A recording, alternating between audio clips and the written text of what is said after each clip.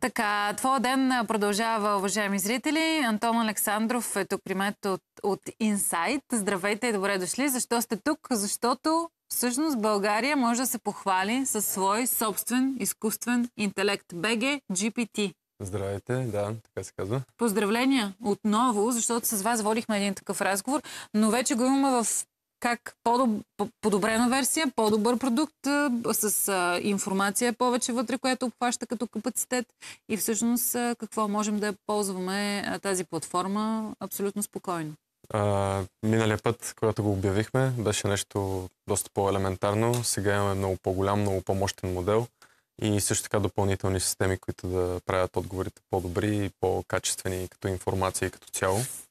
А, можем да го ползваме за абсолютно всичко, но а, ако трябва да се съсредоточа върху нещо конкретно, обработката на текст и създаването на голямо количество текст е винаги а, там, където е най-полезен. Супер. Ще стигнем до приложението. Първо обаче да отговорим на въпроса защо. Защо се появи BG GPT? Защото а, когато почнахме да го правим това, а, нямаше добри отворени модели на български язик, като изключим платените чат приложения, които и тогава още не се справяха добре, сега малко повече, а, но и ние напредваме естествено. М- бизнесите и хората в къщи, ако искат а, да го ползват локално, нямаше как да го правят и сега това ни позволява да създаваме все по-добри такива модели и те вече се интегрират навсякъде в индустрията. Аз си мисля, че спокойно можем да се похвалим, дори да звучи гръмко, в крайна сметка, че България е единствената европейска държава с своя собствен изкуствен интелект, с такова приложение. Да, а, за момента това е национал, на национално ниво а, толкова голяма разработка няма никъде другаде в а, Европа. Естествено, все още има опити, някои не толкова успешни и в други държави, но ние сме първите, които да пуснем така и чат и Подобрена версия модели. с а, много по-широк капацитет, както казах и аз в началото. Като казвам капацитет, визирам информацията, с която се, се борави като набор информация. А, и, и нека да кажем приложението на, самото, на самата платформа като приложение. Имам предвид в кои сфери, какво можем да вършим през BGGPT, защото научих, че може да решаваме и задачи дори. Не само Можем да, да решаваме задачи. Да Това не мисля, че му е най-голямата сила, но работата с а, текст, като да речем а, преводите или анализ на конкретен текст, да се синтезира, да се префразира, примерно от а, може да му кажете да не използва почти никакви думи от оригиналните и да ви създаде същия смисъл текст.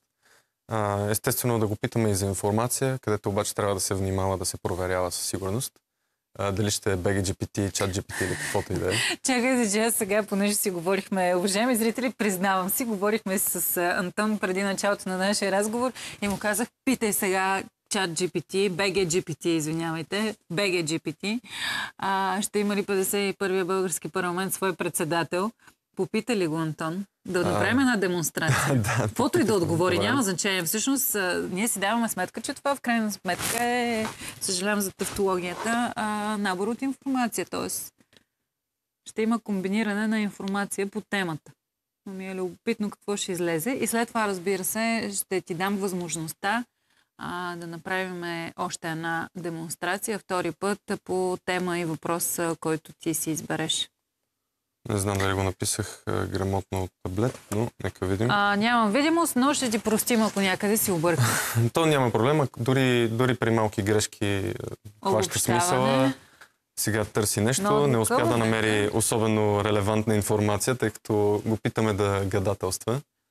И ни казва, че не може да ни каже нещо толкова трудно на съвет. Зависи от политическите договорености и гласуванията в парламента след провеждането на изборите. Точно така. Прав е, от това зависи.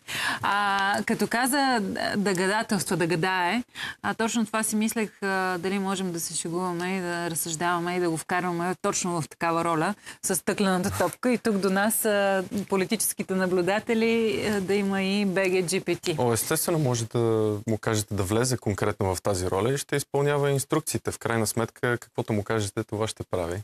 Да, обаче политкоректен е. За най-актуална информация по този въпрос препоръчвам да следите новините, официалните източници, като сайта на Народното събрание Да, на това е едно от България. големите подобрения. Предишната версия щеше да измисли нещо, може би смешно, може би по-така Да. интересно. Добре, направи сега ти една демонстрация, нещо нагледно да ни, А, да ни покажеш. Ние, Което съответно, може да сме сложили полезно. примери в самото приложение за всеки, който иска да го пробва така веднага, доста бързо. А, да речем, че искаме да... Какво да направим?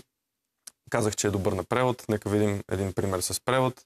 Това е отказ от английската Википедия за България и получаваме директно превода на текста Доста бързо става всичко, ми прави впечатление. Да, Сега когато, това, че когато не е търси пример. информация, работи много Да. бързо, сигурно. Тоест, когато превежда, искаш да ми кажеш, че а, е- една страница може да я преведе за, Да, за, за, минута, за две, секунди, да. за секунди.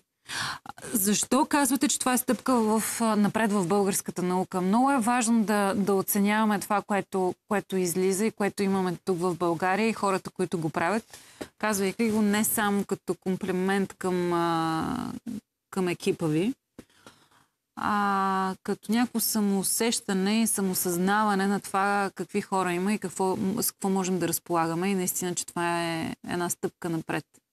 Ами, мисля, че нали, в развитието на изкуствения интелект а, трябва да се запази тези езикови особености и културни а, такива, които имаме в нашия български език и култура.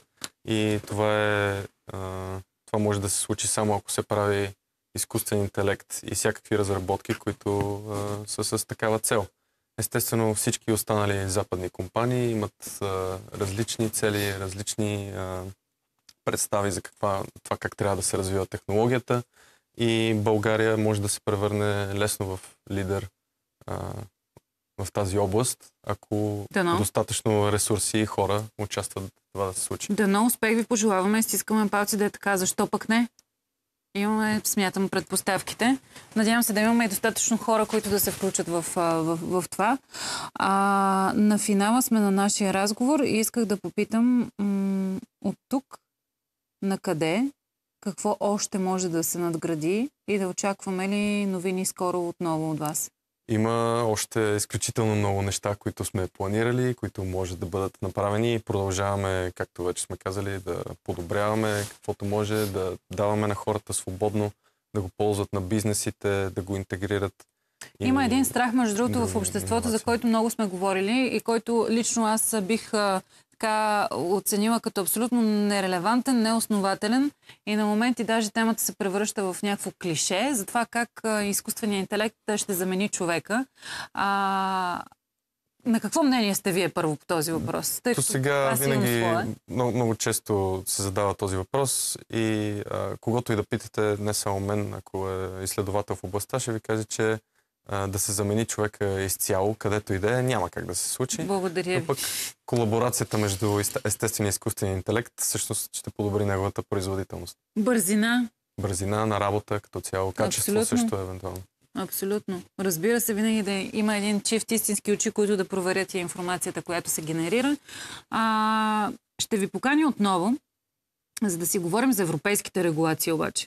Защото това все повече навлиза. Европа вече има своя законодателна рамка и в един момент тук в България също трябва да имаме законодателен орган а, според това законодателство на Европа и ще бъде много интересно да видим как ще се справим в това начинание. Ще замълча само, защото не съм особено оптимист, но се надявам, че бързо а, ще влезем в час. Успех, поздравления още веднъж и благодаря, че бяхте тук да